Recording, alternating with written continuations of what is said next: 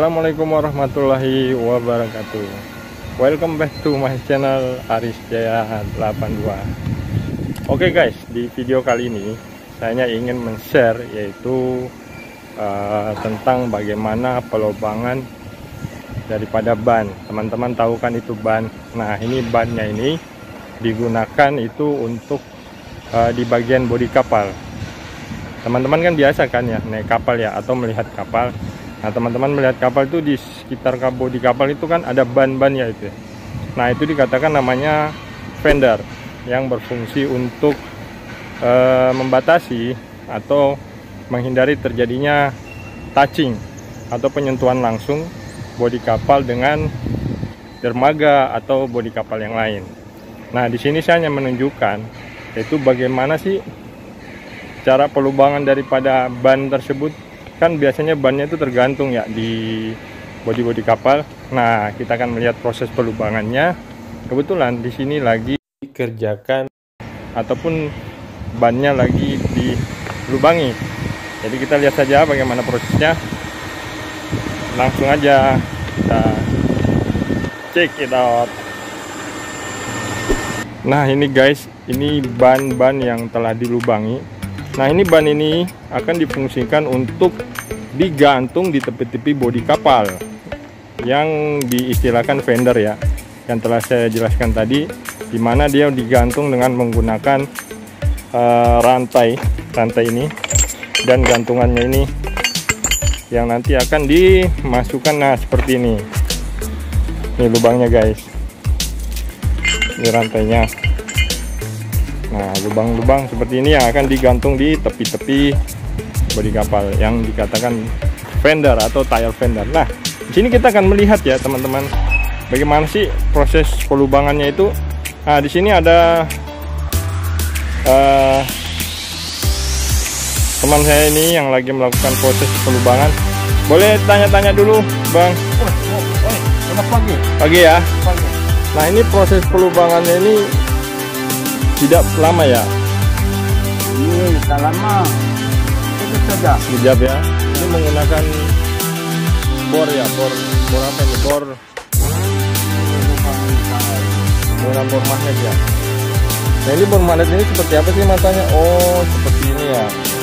Kita boleh coba pak nanti boleh kamu rekam. Ini ternyata drillnya teman-teman dimodifikasi. Hmm. Jadi pada saat pelubangannya itu mata drillnya bukan mata drill yang full, dia menambahkan dari mata pisau yang di ujung sini. Kemudian uh, diukur berapa besarnya.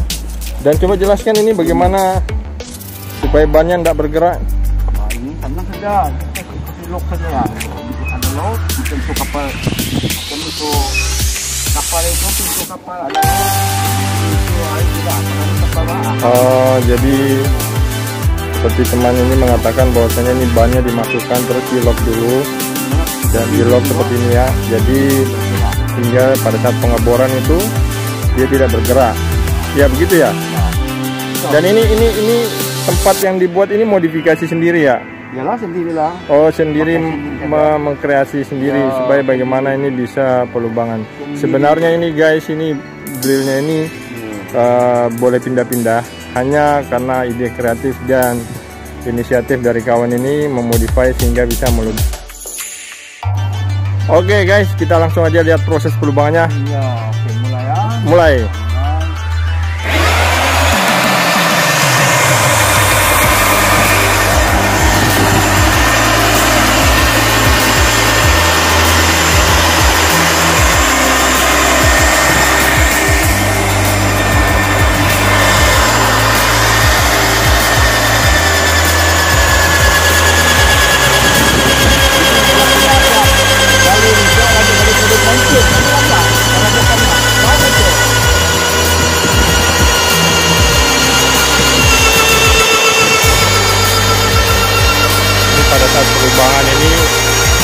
ternyata harus ditekan secara pelan-pelan. Nggak boleh langsung secara langsung karena bisa merusak daripada mata drillnya oh ini penurunannya sini ya.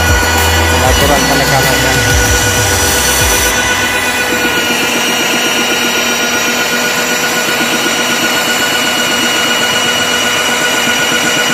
Mulai nampak berasap itu kan adanya efek gesekan panas antara mata drillnya dengan uh, karet bannya. Dan ini dibutuhkan oleh yang berpengalaman ya. Takutnya kalau nggak berpengalaman bisa kena daripada tangannya. Nah ini ada hasil lubangnya yang begitu akurasi lubangnya bulat. Dan ini mata bornya yang masih berasap dan berbau-bau karet getah paling tua dari COVID-19 ya ya ya betul. Setelah tadi proses pengeboran atau drill lubang bannya ini sekarang tinggal dirilis atau dibuka locknya untuk mengeluarkan ban dan memasukkan ban yang baru. Saya kira sampai di sini aja itu aja yang bisa saya tunjukkan sedikit. Oke okay, guys okay, ini, covid masih covid guys. Tidak boleh sedekat ah, ini masih covid katanya nggak boleh dekat. Boleh dekat. Ya. Lima jangan lupa di subscribe. di like di jangan di, jangan nama saya. di komen. Ini semua sakit takut banyak. Oke okay guys, sampai itu aja. Video sekedar uh, sekedar sharing aja. Ya ya.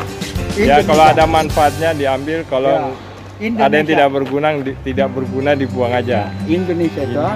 Ya, oke. Okay. Teman-teman jangan lupa di di like, di komen, dan teman-teman yang belum subscribe subscribe dong supaya channel saya ini lebih semangat dalam membuat konten-konten selanjutnya.